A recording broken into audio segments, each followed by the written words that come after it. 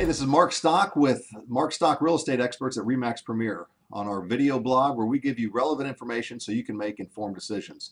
Thank you for watching today. Today I wanted to talk a little bit about pricing strategy and pricing your home right. Um, we all know that there's a price that anybody will buy your home, but we also know there's a price that nobody would buy your home.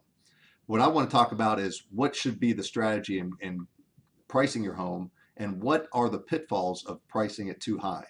One of the number one things I hear from sellers in pricing is, I want to price it high so that there's room for negotiations. Now, that makes sense, but there's some things I think that need to be considered when, when looking at that.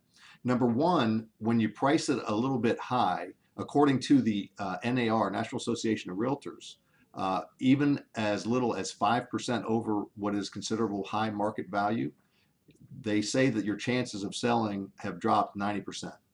So by pricing it high, a couple things happen. One, the potential buyers that should be seeing your home are not seeing it. So those important days on market, the early days on market, when pent-up demand, uh, I, in other words, pent-up demand is the demand, the people that have been looking at homes haven't been able to find the right one. Maybe yours is the right one for that right buyer, but you've got it priced over market so they don't even see it. So so number one, potential buyers that should be seeing it aren't. And number two, it inc the increased time on market.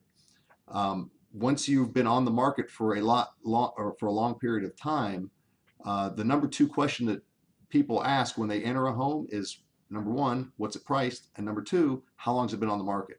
So you have psychological factors working against you in that regard. What's going through the buyer's mind when they ask how long has it been on the market? They're calculating in their head how many people have seen it before them and how many people thus have rejected your home. And obviously they feel, hey, if it wasn't good enough for them, it's not good enough for me.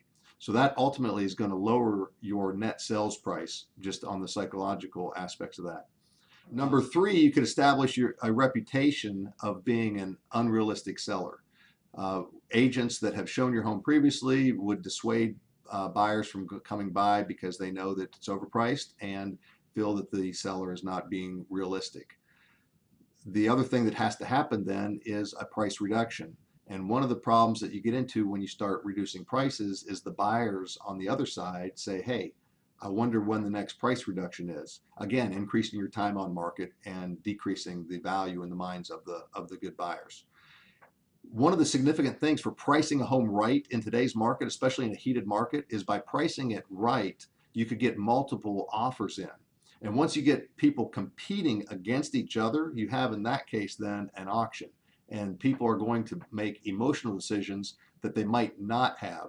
So the converse is working for you. Hey, this guy wants it. That makes me want it even more. So I'm willing to pay more than it's worth. This is Mark Stock with the Mark Stock Real Estate Experts at REMAX Premier, encouraging you to price your home right.